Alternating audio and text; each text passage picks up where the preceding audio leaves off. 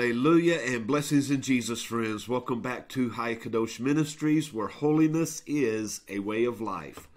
Jesus is truly King of Kings and Lord of Lords, and the Holy Bible is our only standard and authority for truth.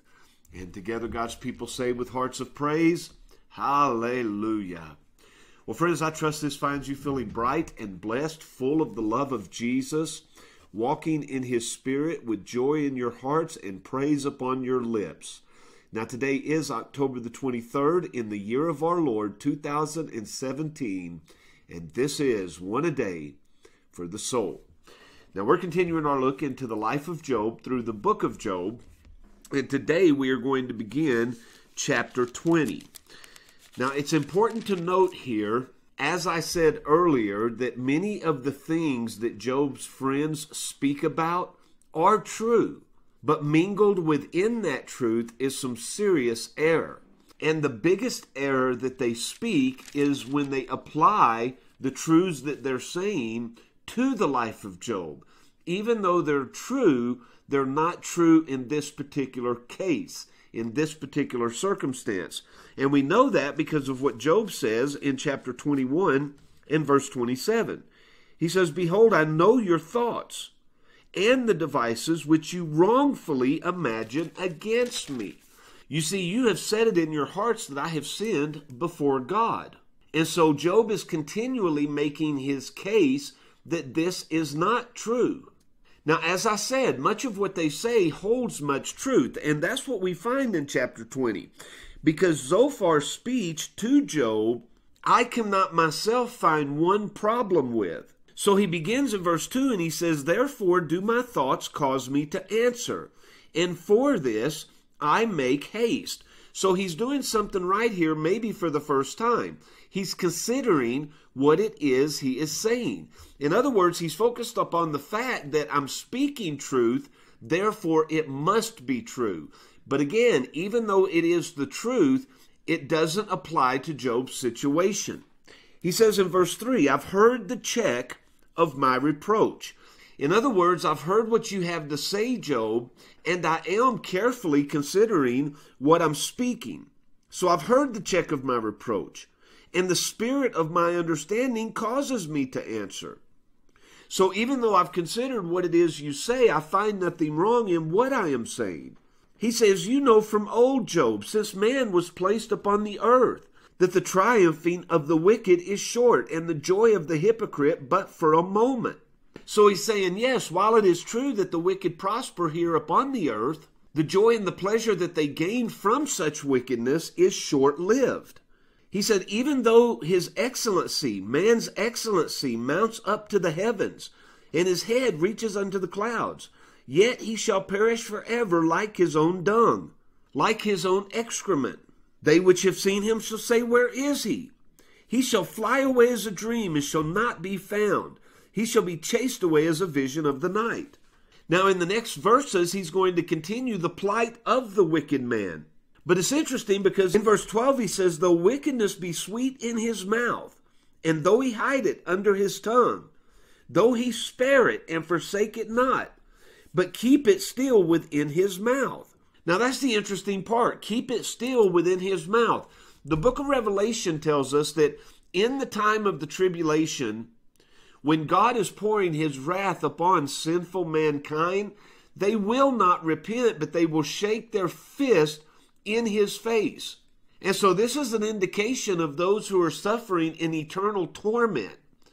They won't be crying out to God for mercy, but they will still be spitting in the face of God because their wickedness has been hidden beneath their tongue. And the reason for this is mentioned beginning in verse 15. It says, He who has swallowed down riches, and he shall vomit them up again. God shall cast them out of his belly. Now, when I read this, I'm reminded of three passages. The first would be that when Jesus tells us it's almost impossible for a rich man to enter into the kingdom of heaven because he is consumed by his riches. The second is when Paul tells us that the love of money is the root of all evil. Man will sell his soul to gain riches upon this earth. And the third passage that comes to mind is when Jesus gives us the parable in Luke chapter 12, beginning in verse 16. It says, He spake a parable unto them, saying, The ground of a certain rich man brought forth plentifully. And he thought within himself, saying, What shall I do? I have no room where to bestow all my surplus, all my fruits. And so he said, This will I do. I will pull down my barns and I will build greater barns, and there will I bestow all my fruits and my goods, and hoard everything unto myself.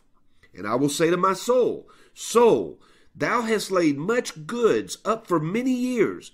Take thine ease, eat, drink, and be merry. But God said unto him, Thou fool, this night thy soul shall be required of thee. Then whose things shall these be? which thou hast hoarded up. So is he that layeth up treasure for himself and is not rich toward God. And so, what this parable is telling us is that freely as you have received, freely give. None of it belongs to you anyway. The Lord gives, as Job told us, the Lord takes away. And so, it's all His. We can't think of it as our possessions, we can't think of it as our money. It's His money. And we've been given the privilege to manage his money, to manage his supplies. And so, unlike the wicked, we should be looking for greater opportunity to give away all that we have rather than to hoard it unto ourselves. And that's what Zophar is speaking here when he says in verse 15, he swallowed down his riches. The wicked has swallowed down his riches. He's hoarding it for himself. But he will vomit them up again. God will cast them out of his belly. Now look at verse 19. He has oppressed and forsaken the poor. Because he is hoarding everything unto himself, he is not looking to the needs of the poor. He has oppressed and has forsaken the poor. In verse 27, it says, The heavens shall reveal his iniquity, and the earth shall rise up against him. The increase of his house shall depart, and his goods shall flow away in the day of his wrath. In the day of God's wrath, everything will flee. Naked he came into this world, naked he will leave this world.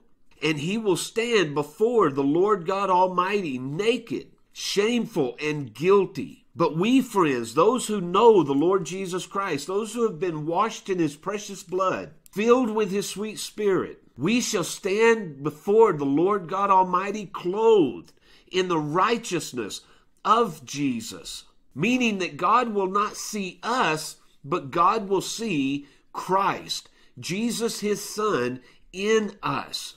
And for that, we will find pardon.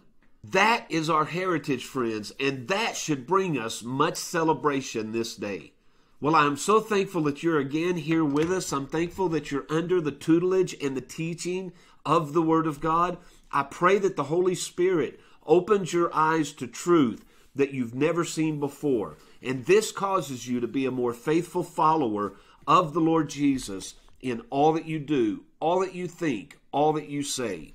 Now, as He wills, and until tomorrow, friends, I truly love you, and I'll see you on the next video.